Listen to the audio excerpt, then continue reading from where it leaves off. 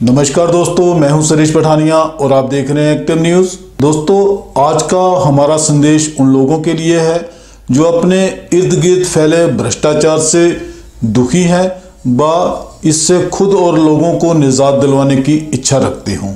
सबसे पहले, पंचायत स्तर पर गाँव के लोगों के विकास हेतु आए अनुदान की बात की जाए तो वर्षों से इस अनुदान में हुए भ्रष्टाचार के कारण अभी तक हमारे सरपंच गलियों नालियों के लिए ही ग्रांट मांगते नज़र आते हैं। इससे आगे का विकास नहीं हो पा रहा। कारण स्पष्ट है कि खर्च रही ग्रांट का सदुपयोग नहीं हो रहा।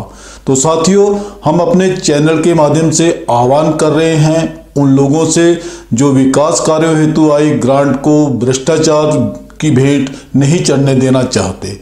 हमसे संपर्क करें व पंचायत स्तर पर आपको कहीं भी भ्रष्टाचार नज़र आता है तो उसे उजागर करने के लिए हम आपके कंधे से कंधा मिलाने के लिए तैयार हैं, क्योंकि विकास कार्य हेतु आई ग्रांट सारे गाँव की है।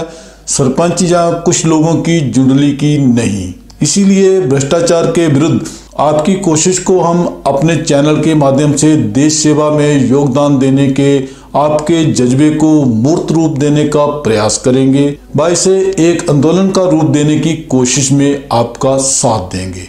इसके लिए हम अपने चैनल में कुछ आरटीआई एक्टिविस्टों व कानूनी विशेषज्ञों से आपको जानकारी देने के लिए मुलाकात भी प्रसारित करेंगे।